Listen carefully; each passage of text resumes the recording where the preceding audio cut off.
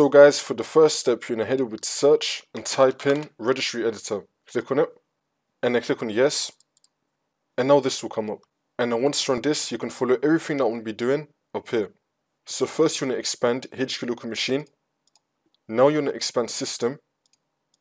Now you want to expand current control set.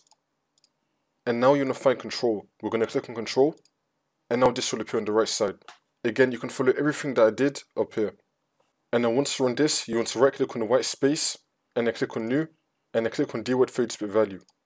You want to call this services pipe timeout. Spell it with the same capitals and lowercase as I did and then click on enter. And then once you have this, you want to double click on it. And now in this box right here, you want to type in 6000. Now you want to select decimal, which will now change it to this 24576 and then click on OK you should now be seeing 24576 right here. And now for the last step, you just want to restore your computer, and then the problem should be fixed.